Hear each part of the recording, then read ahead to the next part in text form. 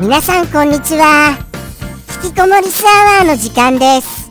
本日は2023年1月10日火曜日でございます。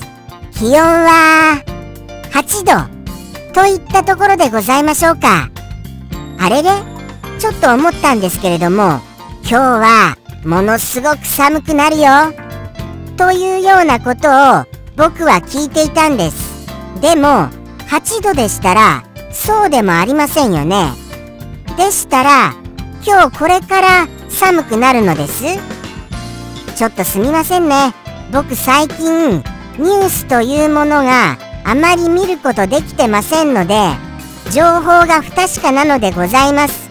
もしもこれから寒くなるのでしたらやっぱりちょっと危険ですからはいちょっと暖かい格好でお出かけはしてくださいませ。よろしくお願いいたします。そしてですね本日お便りをいただけましたよ。はい。メッセージのお便りをいただけました。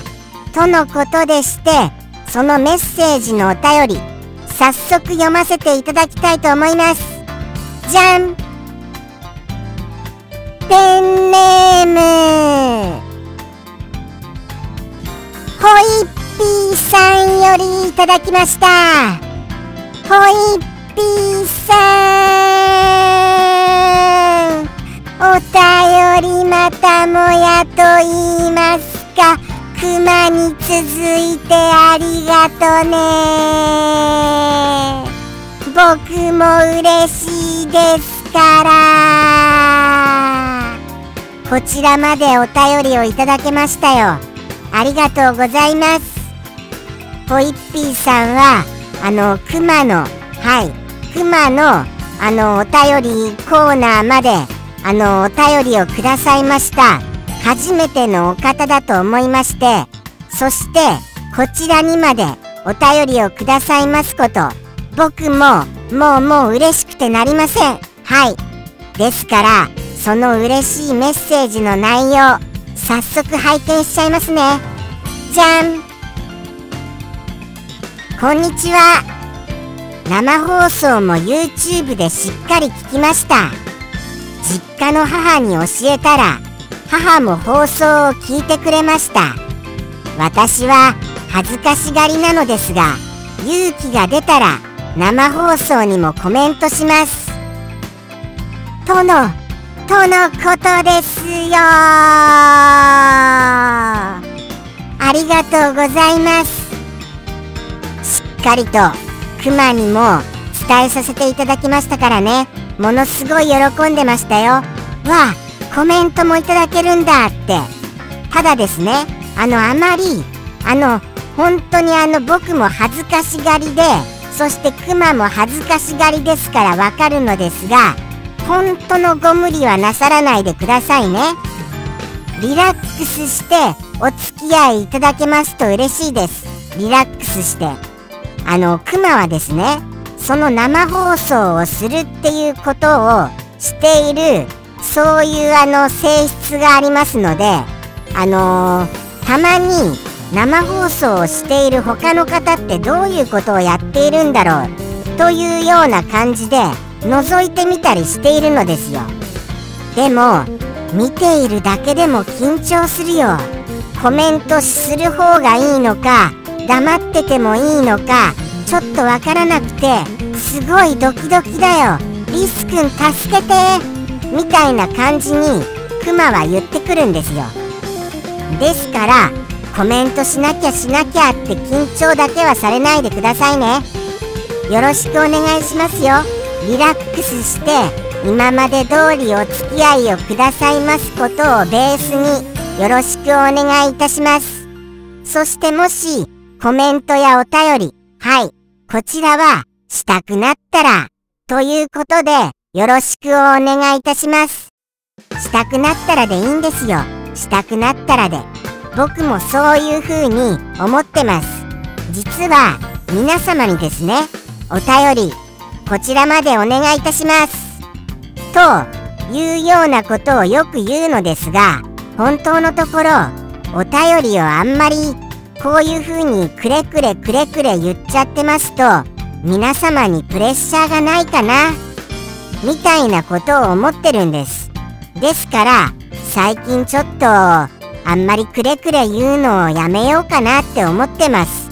ただただ僕はですね皆様がお便りをしたくなったならばそういう時にいただければよいなとそう思っている次第でございます。どうかごゆるりとリラックスしてお付き合いいただけますと幸いです。そしてそしてとってもとってもほっこりといたしましたのですよ。もうもうお母様にまでこのあのこのじゃなくてクマの放送をあのー、おすすめくださいましてありがとうございます。正直なところお母様びっくりしたのじゃございませんかと僕は睨んでおります。でもきっとかわいいかわいいホイッピーさんのあのおすすめですからご覧になってくださったのではないかな。っていうように睨んでおります。そうなんですよね。お母様からしましたらホイッピーさんがいくつになろうがもうずっとずっとお母様のお子さんですから可愛くて可愛くて仕方がないのだと思いますよ。ですからなんだろうこの放送と思ってもきっとあのホイッピーさんがあの勧めてくださったことが嬉しくてご覧になってくださったんじゃないかなと考えますとただただ気持ちが温まるのでございました。こんな温かなお便りくださいましてもうもう本当に僕は嬉しい限りでございます。ありがとうございます。くれぐれもお母様にもあのよろしくお伝えいただけますと幸いです。あーなんだかもうもう僕が僕がですよ。本当に心温まりました。ホイッピーさん。ありがとうございますね。なんか言葉が詰まっちゃいますよ。なんて言っていいのかわからなくなっちゃいまして。あまりにも感動に包まれちゃいまして。こう胸が熱くなることによって頭の中が真っ白になってしまいました。すみませんね。ちょっとたどたどしくなってしまいまして。ではでは行きましょうか。はい。ホイッピーさんまたまたって言っちゃったらまたこれプレッシャーじゃないですか。僕はついつい言っちゃうんですよね。あの本当にお気が向きましたらお気が向きましたらでよろしくお願いいたします。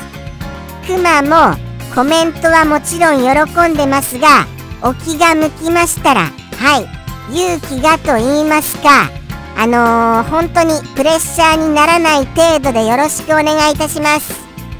はいそれでは本日のあの、あそうでしたそうでした。まだお夕飯を言ってませんでしたよね。お夕飯を。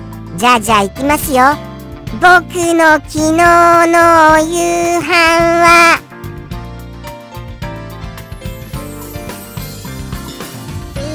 何でしたっけ？何だったか分かんなくなっちゃいましたよ。ちょっと忘れちゃいました。えーと忘れちゃったので忘れちゃったので Twitter でご報告させていただきます。もうもうそうなんですそうなんです。胸が熱くなったことによって頭が真っ白になったことによって何をはい言おうとしていたのかもうもう完全に飛んじゃいました。こんなにすっぽりと抜け落ちちゃうとはこの放送史上始まって以来かと思いますですので今回ははい特にコメントなしで行かせていただきたいと思います。とのことでしてお便りに行きましょう。お一言お便りに行かせていただきたいと思います。お一言お便りに。はい。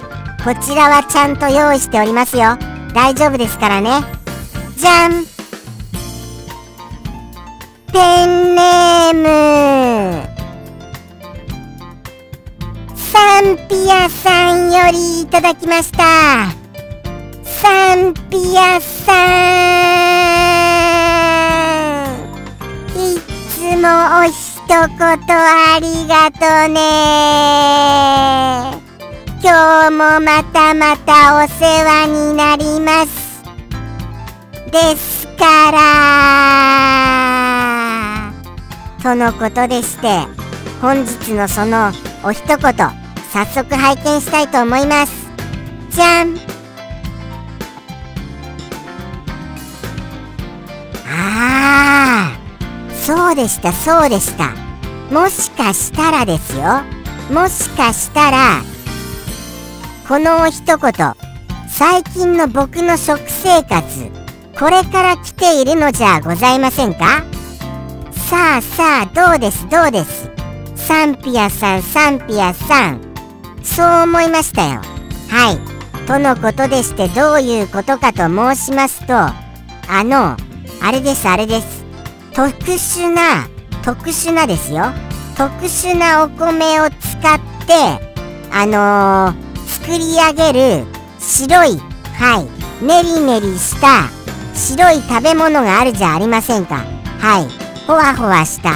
とってもとっても美味しい。はい。ぺったんぺったんする。ぺったんぺったんするそういう食べ物。これをこれをですね多分僕はああこれ。ああこのお言葉このお言葉僕意味がちょっとあのはっきりと分かっておりませんのでした。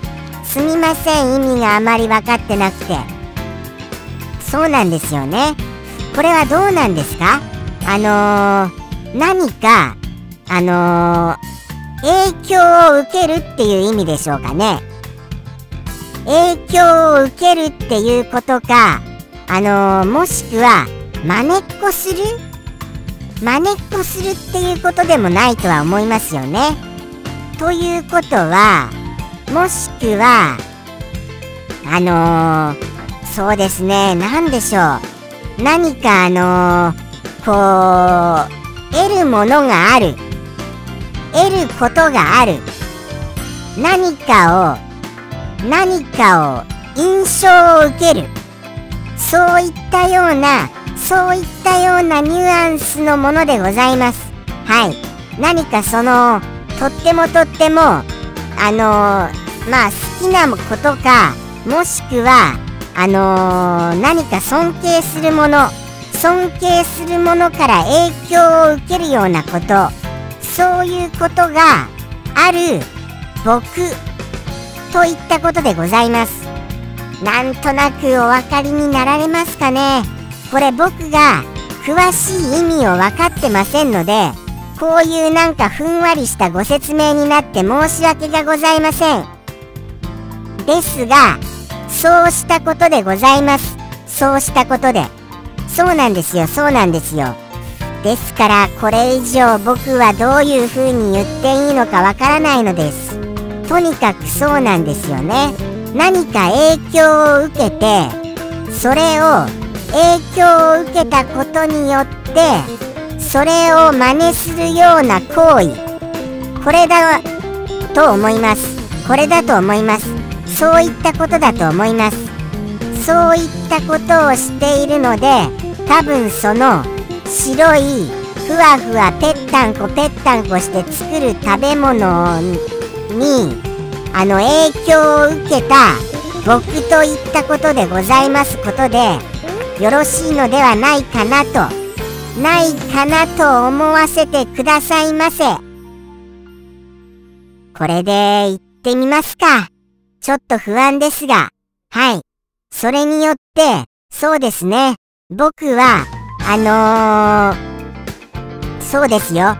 あのー、結構あの伸びやかに力強く生きようかなっていうそういう気持ちになっているんじゃないかなっていう感じになるかと思います。はい。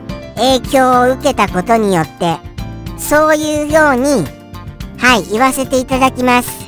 ではではもう行きますね。もうぐちゃぐちゃになりましたから。今回後半がですから。はい行かせていただきます。もうサンピアさんのお一言。ではではサンピアさんよりの一言。どうぞ。